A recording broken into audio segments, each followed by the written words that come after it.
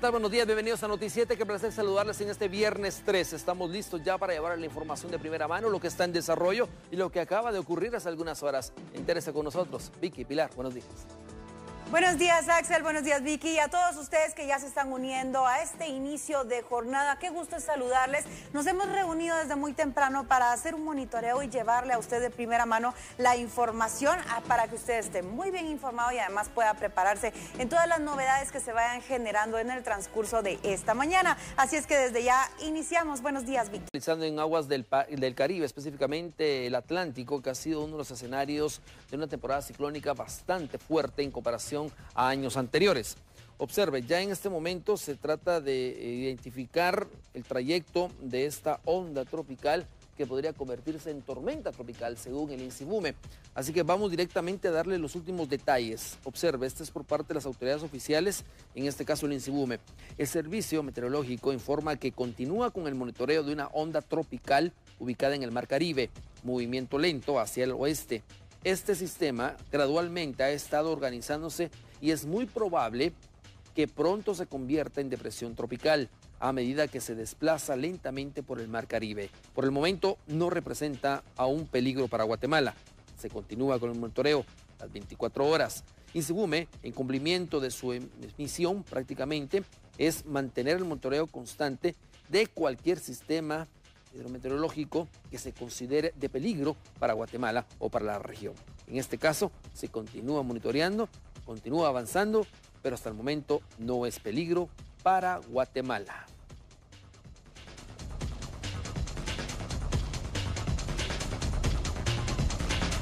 Veamos ahora la onda tropical 98L, que es la que se está monitoreando constantemente. Se recordará usted que hace algunos días le indicábamos que estaba sobre el área sur de América. Bueno, observe usted, Teta con dirección hacia España, hacia Europa. Y ETA se va desvaneciendo poco a poco y se va entrando ya prácticamente alejándose de la Florida. Pero la onda tropical 98L es la que preocupa no solo a Guatemala, Honduras ya declaró alerta roja, escuche usted, y lo puede hacer así Nicaragua y Costa Rica y Panamá, que también siguen monitoreando esta onda tropical. Guatemala aún está esperando qué pase con esto. Se sigue fortaleciendo, se sigue pues eh, generando una velocidad de unos 100 a 120 kilómetros por hora, entonces ya sería tormenta tropical, pero por el momento sigue siendo una onda tropical, la 98L. Con esto podríamos estar diciendo de que sería ya prácticamente lo último que se está generando en el Atlántico según los pronósticos de expertos y el sistema de huracanes internacionales porque es parte de la temporada de invierno y ciclónica y la temporada de huracanes, que termina el 30 de noviembre. Pero mire, hay otros datos que usted debe de conocer. Según el Centro Nacional de Huracanes Internacionales de los Estados Unidos, está monitoreando también en la amplia zona de baja presión sobre el Mar Caribe. Lo que usted ve en pantalla, ¿sí? Lo que usted ve en este momento, esto es lo que se está monitoreando por parte del Mar Caribe Central, que probablemente se convierta en una depresión tropical o tormenta tropical. La trayectoria es similar a la de ETA. Escuche, esta tormenta, esta depresión tropical o tormenta tropical más tarde, pues hoy o esta noche, podría ser que esto se convierta en tormenta tropical. Los intereses, en este caso en Nicaragua y Honduras, deben monitorear el progreso de este sistema. Es parte de lo que ellos están recomendando. Por esa razón, le indicaba, ayer en horas del mediodía el presidente Orlando estaba declarando alerta roja para las costas hondureñas. Nicaragua lo sigue considerando y puede ser que en las próximas horas también declare alerta máxima, alerta de emergencia. ¿Por qué razón? Porque son los dos países centroamericanos que en su momento, al impacto del huracán ETA, que comenzó similar como una depresión, se convirtió en tormenta y luego un huracán categoría 4 en tan solo 24 horas e impactó de esa manera devastadora, puede ser que también Nicaragua pues decrete alerta de emergencia. Guatemala continúa monitoreando porque las ondas tropicales son pues con trayectoria muy difícil de controlar. Ya lo vio usted con ETA, entra, sale, entra y sale del Golfo de México. Entonces, esta es parte del monitoreo constante. Pero hasta el momento, Honduras es el único país centroamericano que ha declarado alerta roja. Guatemala sigue monitoreando, Nicaragua hace lo mismo, pero ya la advertencia está dada. Trasladado acá en Noticiete, uno de los puntos fuertemente impactados derivado de ETA y su paso por el territorio nacional fue Cobán Altavera Paz.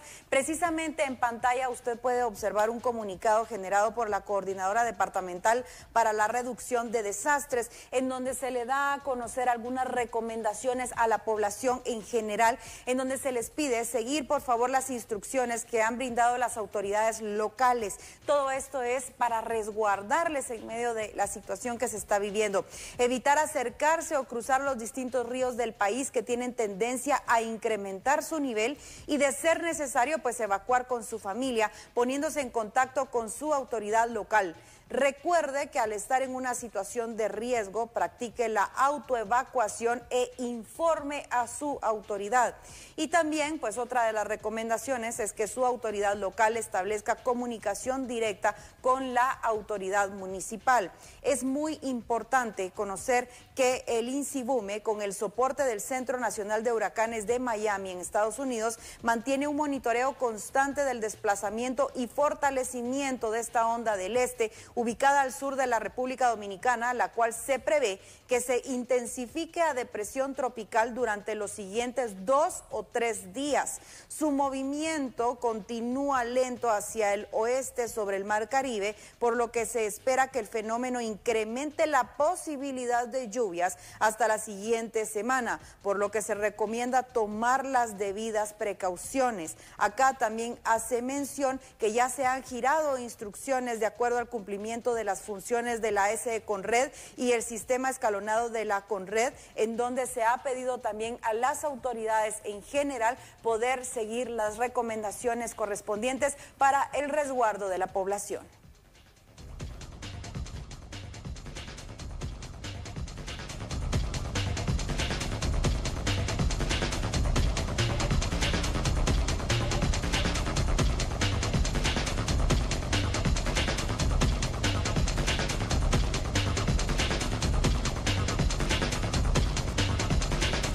Información acerca de eh, pues una visita oficial por parte del presidente de Honduras hacia nuestro país este día, este viernes 13 de noviembre. Y tenemos para ustedes también la agenda de trabajo que realizará el presidente hondureño en esta visita oficial a la República de Guatemala. Es el señor presidente eh, de la República de Honduras, Juan Orlando Hernández, quien estará arribando prácticamente a las 8 de la mañana a la ciudad de Guatemala, eh, junto con su delegación hacia la Fuerza Aérea Guatemalteca. A las ocho y cuarto, pues estará realizándose el traslado a Casa Presidencial para que a las 8.30 se tenga un desayuno en el lugar en donde empezarán a discutir diversos temas bilaterales. De hecho, se tienen programadas dos reuniones eh, oficiales por parte del eh, presidente de la República de Guatemala con el presidente hondureño y, toda, y la delegación respectiva. A las 9.30 pues estará en esta reunión de trabajo en Casa Presidencial y a las 11.45 pues eh, cuando haya terminado la segunda reunión que se tiene programada, a las 11.45 se tiene previsto que pues brindarán eh, detalles de todo lo acordado, de todo lo discutido, un mensaje a los medios de comunicación eh, desde Casa Presidencial, en donde la transmisión será en directo en el canal de gobierno y también en redes sociales de Gobierno de Guatemala. Nosotros como Noticias estaremos pendientes de todos los detalles para brindarle a usted pues lo que se... Eh, de hecho, Luisa Velázquez estará en lugar dándole cobertura para brindarnos más detalles eh, de todo lo que se llegue a discutir y acordar por parte de ambos mandatarios. A las 12 y cuarto, luego de la conferencia de prensa, de que ha terminado toda esa jornada de trabajo, se realizará ese traslado del excelentísimo señor presidente de la República de Honduras, Juan, Juan Orlando Hernández, y la delegación respectiva hacia la Fuerza Aérea Guatemalteca y se tiene previsto que a las 12.45 pues ya se realice la salida del presidente hondureño y su delegación rumbo a Tegucigalpa, Honduras. Es una mañana bastante cargada de trabajo que van a tener ambos mandatarios y nosotros estaremos pendientes de brindarle a usted todos los detalles que nuestra periodista Luisa Velázquez nos traslade en su momento oportuno. Pública dio dictamen favorable a la asignación presupuestaria del legislativo para el próximo año. El presupuesto 2021 para el Congreso de la República será de 935 millones 600 mil quetzales para diferentes rubros. La Comisión de Finanzas del Legislativo dictaminó favorable el anteproyecto que incluye una asignación específica para la construcción de un edificio de oficinas de congresistas. Se acaba de aprobar el dictamen favorable del presupuesto del Congreso de la República con 18 firmas de 21. Eh, lo relevante de esto es que estamos aprobando la construcción de un edificio con todas las eh, comodidades para que se pueda desarrollar de una mejor manera el trabajo de todos los diputados y con eso ahorrarnos los 24 millones que se gastan en arrendamientos anuales, más otros 25 millones que se gastan en estar reacomodando todas las oficinas para que los diputados puedan eh, desarrollarse dentro de las mismas. Entonces estarían ahorrando alrededor de casi 50 millones anuales cuando ya se tengan estas instalaciones y ese dinero se podrá ahorrar o se podrá utilizar en otras cosas en el presupuesto de la nación. La asignación presupuestaria para la construcción del edificio es de 100 millones de quetzales y estará ubicado sobre la séptima avenida y 12 calle detrás del Ministerio de Gobernación en zona 1. En otro de los rubros contemplados dentro del proyecto de presupuesto para el Congreso está el fortalecimiento a la seguridad dado que en el presente año se han registrado cuatro robos en distintas áreas anexas al legislativo. Eh, sabemos que al día de hoy hay muy pocas armas registradas para los guardias parlamentarios y eh, pues es imposible hablar de seguridad de esa manera. Por esa misma razón también se ha ampliado el presupuesto para que podamos contar con una seguridad. Ustedes pueden ver en el edificio 7 y 10, eh, cualquier persona puede llegar a cualquier oficina de cualquier diputado sin, ninguna, sin ningún control de seguridad. El presupuesto aprobado para el Congreso en noviembre del 2019 fue de 792 millones de quetzales, por lo que la propuesta actual tiene un incremento aproximadamente de 143 millones de quetzales. Por aparte, el Tribunal Supremo Electoral publicó un acuerdo que deja sin efecto la suspensión de asambleas de los diferentes partidos políticos. El acuerdo se publicó en el diario oficial, el cual modifica la suspensión de las asambleas. En su momento, el tribunal había tomado esa decisión, argumentando que no contaban con protocolos de bioseguridad para este tipo de actividades. Este día ha salido publicado en el diario oficial el acuerdo 378-2020, que en su artículo 1 modifica el artículo 1 del acuerdo 360-2020 emitido por este tribunal con fecha 3 de noviembre y queda de la siguiente manera. Las organizaciones políticas bajo su responsabilidad pueden llevar a cabo actividades en las que participe un número de personas que no generen un riesgo alto de contagio del virus causante del COVID-19, para lo cual deben de cumplir con las normas, regulaciones y protocolos que les sean aplicables y naturalmente emitidos por el Ministerio de Salud Pública y Asistencia Social, así como lo regulado en el Acuerdo Gubernativo 150-2020. Es importante mencionar que las delegaciones y subdelegaciones del Tribunal Supremo Electoral ya han sido instruidas, notificadas para dar cumplimiento a este acuerdo. En este caso, si nos pudiera comentar en qué se basaron los magistrados pues, para dar este acuerdo emitido. Bueno, recordemos que se tuvo comunicación con, con, la ministra de Salud, donde ella envía una carta al pleno de magistrados, se analiza, son elementos que se toman en cuenta y pues se promueve y se realiza este acuerdo. Cada partido político. Vamos a presentar a continuación son impactantes, ya que la aldea Campur, ubicada en Alta Verapaz, continúa completamente inundada y también esto ha generado a que muchas familias estén incomunicadas.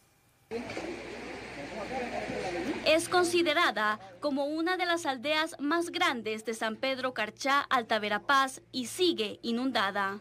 Autoridades indicaron que la zona es de difícil acceso y que hay varias personas que siguen incomunicadas. Mientras tanto, 3.500 familias ya fueron evacuadas el incremento en el nivel de ríos, lo cual ha generado que a estas horas el nivel de los ríos no haya descendido aún eh, y las calles que se encuentran todavía inundadas no han, eh, no han disminuido el nivel del agua. Es más, eh, se tiene conocimiento que con el, con el paso del tiempo incluso ha incrementado, entonces pues se busca lograr atender a toda la población que aún se encuentra en el sector Lamentablemente, las condiciones de ingreso hacia la comunidad han dificultado la llegada tanto de cuerpos de socorro como de personal para poder retirar a todas las personas. ¿Por qué Campur sigue inundada si ETA ya se alejó del país? En las regiones de Alta Verapaz e Izabal, las lluvias se continuaron después del paso de ETA en algunas regiones. Además de ello, pues eh, sabemos de la construcción social que hemos tenido del riesgo a lo largo del tiempo, entonces eh, algunos ríos o algunos caudales se se han visto superados en, su, en el sector en donde normalmente transitan, lo cual eh, genera que estos ríos al incrementar su nivel y salirse de los propios caudales comienzan a buscar eh, lugares a donde desembocar. Las autoridades esperan que los suelos inicien a drenar el agua para que disminuyan las inundaciones. Bueno, y el cielo azul vuelve a Huehuetenango, pero el suelo muestra el amargo recuerdo de los eh, días eh, pasados y que todo esto fue causado precisamente por el paso de ETA en este lugar. La aldea Mishlaj en Chantla es tan solo un ejemplo de ello. Se lo mostramos en el siguiente reporte. Las condiciones climatológicas han mejorado en el departamento de Huehuetenango y la lluvia parece ser que ya solo es un recuerdo. Sin embargo, las comunidades más afectadas viven el día como si la depresión tropical hubiese sido hoy, pues la mayoría lo perdió todo. El panorama en la aldea Mishlaj del municipio de Chiantla, Huehuetenango, no es nada alentador y por todos lados se observa la furia que ETA dejó a su paso. Yo realmente perdí mi casa y todo lo que yo tenía dentro, chamarras, todas mis camas, todo lo que estaba ahí se fue al río después necesito un apoyo que me ayuden a construir mi casa, todo eso. Pero en un lugar que yo quería que, por lo menos un terrenito para comprarlo, pues, para construir la casa, porque se fue mi tierra, pues, y, mi casita, todo lo que yo tenía, animalitos, todo, gallinas, jolotos, todo eso fue al, río y, yo eso es lo que más necesitaba, pues. Autoridades municipales este día llevaron alimentos a los más de 350 damnificados. Además, personal del Programa Mundial de Alimentos entregará aportes económicos de 150 dólares al mismo número de damnificados. En Huehuetenango reporta. Están surgiendo en esta jornada y tal como le habíamos informado, el presidente de Honduras viene a Guatemala a una visita oficial de trabajo y tenemos ya a Luisa Velázquez que nos tiene toda la información. Buenos días, Luisa, adelante. De Noticiete, muy buenos días y justo me encuentro acá en la zona 1 de la ciudad capital, en donde como ustedes pueden observar, este es el panorama que se está viviendo en estos momentos. Varios agentes de la Policía Nacional Civil se encuentran al resguardo del Palacio Nacional de la Cultura, asimismo de Casa Presidencial. Esto derivado a la visita del presidente de la República de Honduras, Juan Orlando Hernández, la cual ya en breves momentos estará llevando a cabo. Según la agenda que compartió la Secretaría de la Presidencia, es que a las 8 de la mañana se tiene previsto el arribo al país de Guatemala al señor presidente de la República de Honduras, Juan Orlando Hernández, en conjunto con su delegación. Esto se estará dando en la Fuerza Aérea Guatemalteca. Posteriormente, a las ocho y cuarto, se prevé que ya se encuentren acá en Casa Presidencial, esto para iniciar una reunión de trabajo. Asimismo, se tiene previsto que a eso de las 11.45 de la mañana se transmita un mensaje a los medios de comunicación esto también en casa presidencial de ambos, ambos, ambos presidentes estarían participando en este mensaje, sin embargo, este se estará transmitiendo por medio de las redes sociales, ya que por motivos de seguridad el ingreso a los medios de comunicación no está permitido. Posterior a ello, a las 12 y cuarto se estará dando el traslado del presidente de Honduras, Juan Orlando Hernández, a la Fuerza Aérea Guatemalteca para que abandone el país a las 12.45. Hasta el momento esta es la agenda de trabajo que se conoce de ambos eh, presidentes, tanto del país de Guatemala como del el país de Honduras. Esto es lo que se está viviendo en estos instantes en los alrededores de Casa Presidencial y del Palacio Nacional de la Cultura. Un fuerte despliegue de agentes de la Policía Nacional Civil y acá frente a Casa Presidencial está prohibido el ingreso a personas que no pertenezcan a el gobierno. Esto derivado al encuentro que tendrán ambos presidentes y posterior a ello, pues como les indicaba, a las 12.45 se estaría ya finalizando la agenda del presidente de Honduras. Así que a las 8 de la mañana ya estaremos a la espera y posteriormente pues les estaremos transmitiendo más detalles acerca de cómo se está llevando a cabo esta reunión y por supuesto el panorama que se vive acá en la zona 1 de la ciudad capital. Esta es la información que tengo de momento. Regreso con ustedes al set principal. Bueno, muchas gracias Luisa por brindarnos todos estos detalles. Nosotros estaremos pendientes también de brindarle a usted información acerca de cuáles son todos los temas que van a abordar. Recordemos que son dos reuniones que se tienen programadas en esta jornada y estarán abordando varios de los temas que pues incumben a ambos países y de mucho interés. Así es que pendientes de toda la información que le estemos brindando tanto en nuestras redes sociales como en la segunda emisión de Noticiete. Son las 7 de la mañana, 21 minutos. Vamos a Guatemala con envío de por solicitud directa del presidente de la República, Alejandro Yamatei que autorizó el envío de aeronaves colombianas para ayudar en el esfuerzo de traslado de alimentos a comunidades afectadas por el paso de la depresión tropical ETA. La solicitud fue hecha por el mandatario guatemalteco Alejandro Yamatei de forma directa al presidente Duque, pues ambos gobernantes tienen una excelente relación y la respuesta fue inmediata. El embajador de Colombia, Juan Hurtado Cano, informó que el presidente Duque autorizó la llegada de algunas aeronaves que ayudarán en este esfuerzo de entrega de alimentos en algunas comunidades a donde no se puede llegar vía terrestre. El pasado martes 10 de noviembre, Guatemala hizo el llamado internacional para que los países puedan unirse a las labores de emergencia y recuperación del país, tras el paso de ETA que según el informe oficial actualizado dejó a 46 personas fallecidas, 96 desaparecidas y más de un millón de damnificadas o afectadas. Se contabilizaron 1.196 incidentes causados por el fenómeno tropical que dejaron, entre otros daños, 11 carreteras y 18 puentes. continuamos con más información. El país, pues siguen arribando dos helicópteros, siguen ayudando en la ayuda humanitaria, llevando a las comunidades afectadas por las inundaciones que dejó ETA en su devastador paso por Guatemala. Este día derribamos dos helicópteros y sus tripulaciones completas al Aeropuerto Internacional de La Aurora, con sede en la ciudad de Guatemala, capital del país de Guatemala, y estamos aquí presentes para ayudar, asistir en todas las misiones que nos sean asignadas de parte del gobierno de guatemalteco. Este día nos hicimos presentes con dos helicópteros UH-1H, los cuales tienen eh, como misión la de evacuar, transportar personal y carga a, los, a las áreas y destinos que se nos sean asignados. Estos helicópteros tienen una capacidad de aproximadamente 10 personas más su tripulación y un total de 2.000 libras en capacidad de carga interna. Debido a las estrechas relaciones y buena amistad que siempre hemos poseído con el gobierno de Guatemala y nuestro pueblo hermano guatemalteco, el Ministerio de la Defensa de nuestro país, El Salvador, ofreció la ayuda hacia el gobierno guatemalteco, el cual fue bien recibido por su ministerio y su presidente, y es por eso que estamos aquí el día de ahora con dos helicópteros UH-1H. Estamos hablando de un piloto, capitán de nave, un copiloto, un técnico de aviación y un enfermero por cada aeronave.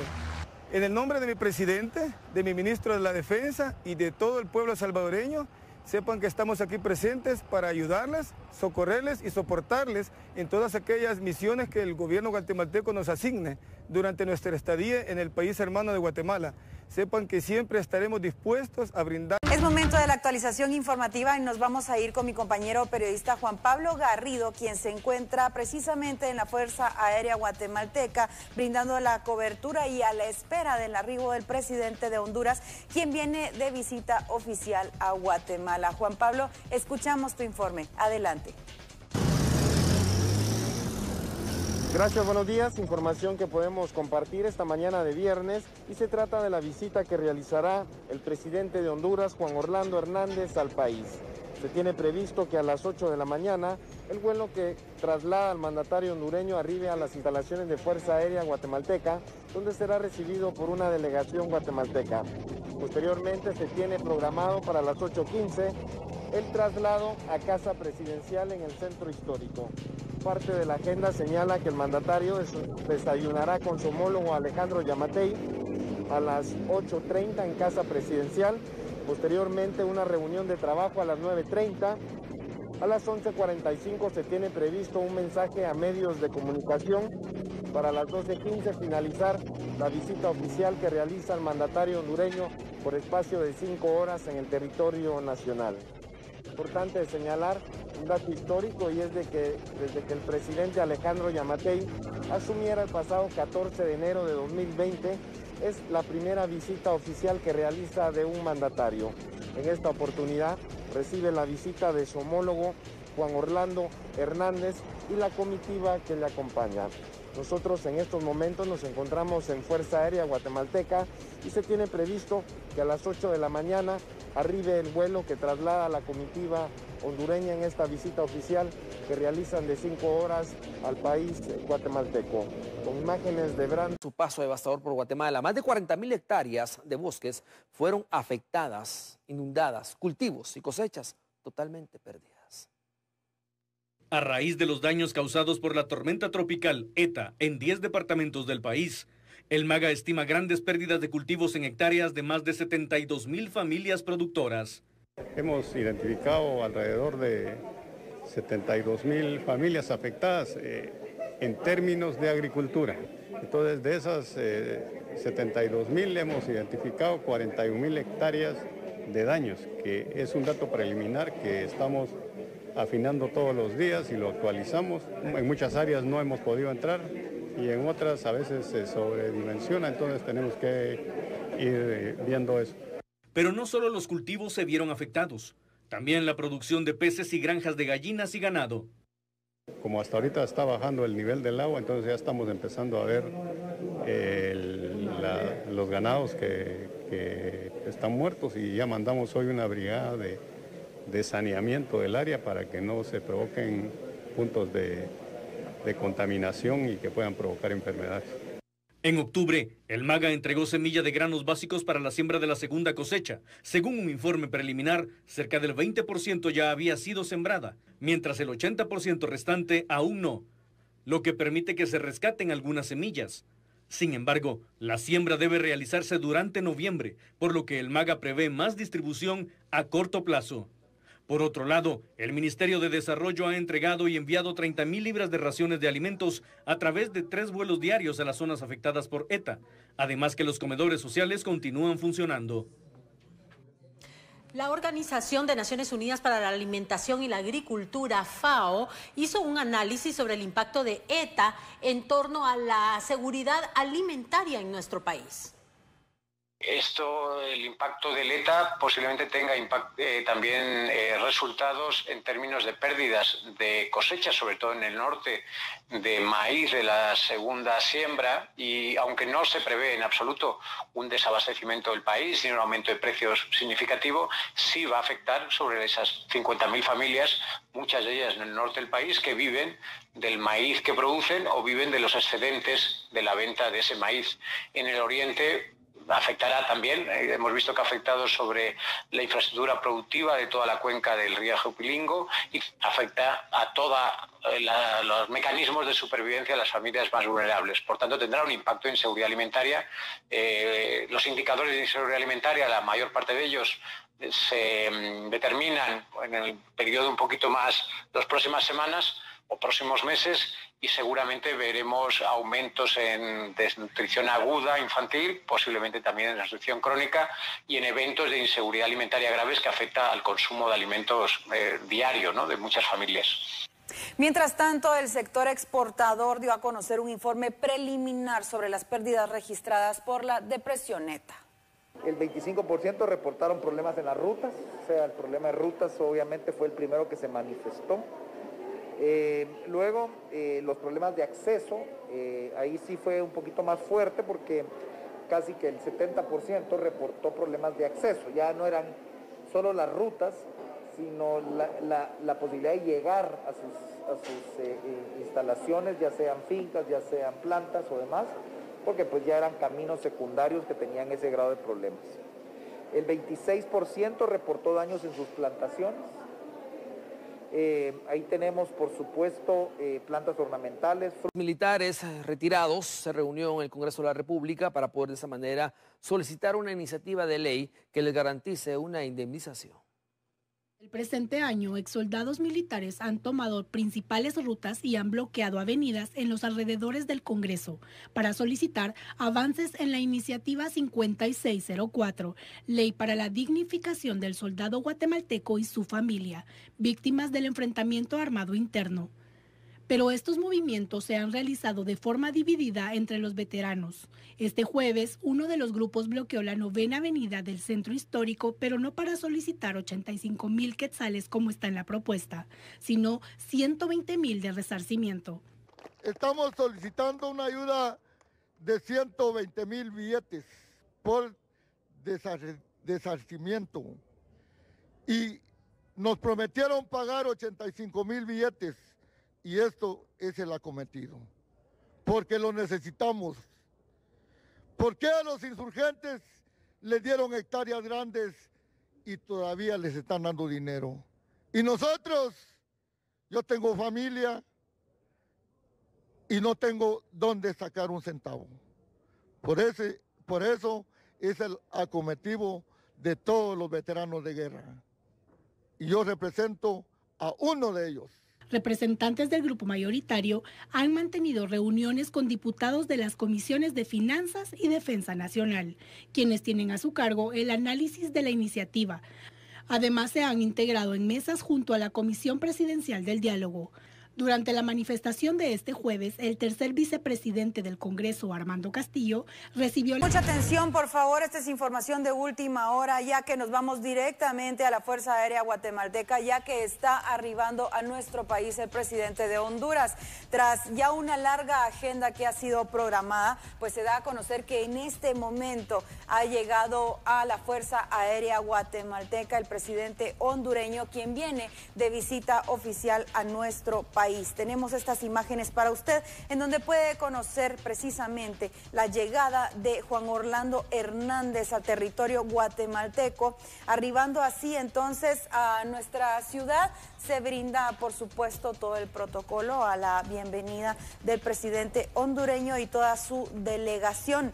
Posteriormente, pues ya se tiene una agenda, la cual aproximadamente a las ocho y cuarto tiene también ya programado que eh, sea su traslado a casa presidencial para así continuar con todos los actos protocolarios, pero también con la agenda y los temas que eh, van a tratar junto al presidente de la República. Así entonces usted podía conocer que ya en la Fuerza Aérea Guatemalteca, tras todos los protocolos necesarios, pues está arribando el eh, presidente hondureño para así entonces dar inicio con esta agenda, una agenda bastante extensa con temas sumamente importantes y de prioridad, de los cuales nosotros estaremos pues dando la cobertura correspondiente para que usted pueda conocer detalles al respecto. Se tiene ya dentro de toda la actividad pues que a las 8 y cuarto sea su traslado a casa presidencial para posteriormente a las 8 de la mañana con 30 minutos pues se dé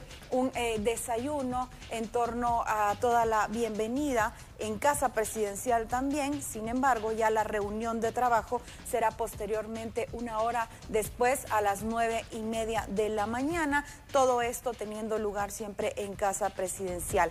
Habrá un mensaje oficial a todos los medios de comunicación a través de una transmisión que se hará por el canal de gobierno, del cual usted podrá conocer todos los detalles. Esta será a las 11 de la mañana con 45 minutos y posteriormente, pues para ir concluyendo ya con esta larga jornada a las 12 del mediodía con 15 minutos, que sea el traslado del excelentísimo señor presidente de la República de Honduras, Juan Orlando Hernández, y toda su delegación nuevamente al punto que tiene en su pantalla, que es la Fuerza Aérea Guatemalteca, para así entonces pues salir de la República aproximadamente a las 12 del mediodía con 45 minutos, rumbo nuevamente a Honduras. Esto es parte de la agenda que se estará desarrollando y nuevamente pues le informamos que nosotros estaremos brindando toda la cobertura para que usted pueda conocer todos los detalles. Son las 8 de la mañana con 17 minutos. Nos vamos a la... Un bloqueo por parte de vecinos específicamente en la zona 8 de San Miguel Petapa. Vecinos de las granjas Gerona específicamente están bloqueando el paso, afectando seriamente el tránsito vehicular. Alfredo, buenos días. Adelante. Así es, gracias y muy buenos días, amigo televidente, compañeros en el estudio. Qué gusto saludarles nuevamente. En efecto, ya tenemos información importante sobre el acontecer que ocurre a esta hora de la mañana y es que justo me he trasladado para la zona 8 del municipio de San Miguel Petapa, en el sector conocido como Granjas Geronas. Un grupo de vecinos de este sector ha salido pues a una de las calles principales de San Miguel Petapa a bloquear el paso. Ellos están realizando una manifestación exigiendo pues diversas demandas, entre ellas se menciona pues la colocación de drenajes, asimismo también están exigiendo asfalto para las calles, según manifestaban pues ya llevan años de contar con calles en mal estado y con las lluvias la situación empeora para ellos. Es bueno observar pues este bloqueo es prácticamente de dos vías, ya vemos que algunos vehículos se han acumulado, muchos vecinos tanto de San Miguel Petapa como de Canales utilizan esta vía como una vía alterna para conectarse con el centro de la ciudad de Guatemala, sin embargo pues los vecinos decidieron este día colocarse pues en este sitio y manifestar. Es parte del reporte que tenemos a esta hora de la mañana, estaremos muy al pendiente de este tema y como les indicaba vamos a conocer la postura por parte de las autoridades relacionado pues, a los trabajos que las personas están pidiendo que se puedan desarrollar en su comunidad. Parte del reporte que tengo junto a mi compañero Henry Ávila, regreso con ustedes a Estudios Centrales. Muy buenos días. Bueno, gracias Alfredo Mendoza por la información. Estaremos al pendiente de más detalles. Del INASIF estableció que eh, la salud del presidente, expresidente Otto Pérez Molina, se encuentra totalmente estable en este momento, lo cual no amerita que permanezca más tiempo en el hospital militar. En 2015, el expresidente de la República, Otto Pérez Molina, tomó la decisión de entregarse a la justicia. El Ministerio Público lo vincula a los casos de corrupción, la línea y cooptación del Estado. El exmandatario está internado en el Hospital Militar por quebrantos de salud. En septiembre de 2018, el expresidente fue intervenido quirúrgicamente para cambiarle un aparato que regula el funcionamiento del corazón. La última evaluación médica que hizo el Instituto Nacional de Ciencias Forenses a Otto Pérez Molina arrojó que su cuadro clínico es estable y que no amerita que continúe internado en el hospital militar y que tiene las condiciones para estar en la cárcel militar Mariscal Zavala. El juez Miguel Ángel Galvez solicitó una ampliación del informe médico del INASIF para resolver si el expresidente continúa en el centro médico militar o se ordena su reingreso a la prisión. Vamos a cambiar ahora de tema ya que la OMS ha brindado un informe actual acerca de los casos de diabetes en el mundo. Actualmente observamos un panorama de personas que se mantienen con estrés del diario vivir, algunos con procesos alimenticios inadecuados, además del sedentarismo. Todo esto perjudicial para la salud, tanto que puede desarrollar diabetes. La diabetes, infelizmente, es la primera causa de muchas complicaciones, entre ellas la enfermedad renal crónica. Por eso hoy estamos acá en nuestra institución, que hoy eh, tiene alrededor de aquí 5.429 pacientes y de lo mismo la primera causa de enfermedad renal crónica es la diabetes mellitus. ¿Qué podemos hacer para evitar esto? Para evitarlo, eh, lo más importante es entender que la génesis o el principio de esta enfermedad es el principio de muchas enfermedades como la hipertensión, las enfermedades coronarias y cardiovasculares. Número uno, tener una mejor dieta, es decir, evitar la comida chatarra. Número dos, tener una vida menos sedentaria, tener más actividad física. Y número tres, evitar el estrés. Hay otras causas como fumar y la obesidad que llevan también a la aparición de la enfermedad eh, de la diabetes y en un inicio del síndrome metabólico como génesis inicial de la diabetes. A pesar de las recomendaciones, esta enfermedad está avanzando. Durante la pandemia se dio a conocer que tener enfermedades crónicas afecta más la situación de las personas que han dado positivo a COVID-19. Por ello esperan lograr llegar a todos los guatemaltecos con métodos de prevención en esta conmemoración que se hace. Bueno, y de esta manera hemos llegado al final de esta emisión de noticias, como siempre agradeciendo su sintonía. Feliz fin de semana. Claro que sí, los esperamos a las 13 horas en la segunda emisión de Noti 7. Y por supuesto le deseamos que tenga un día extraordinario. Hasta pronto.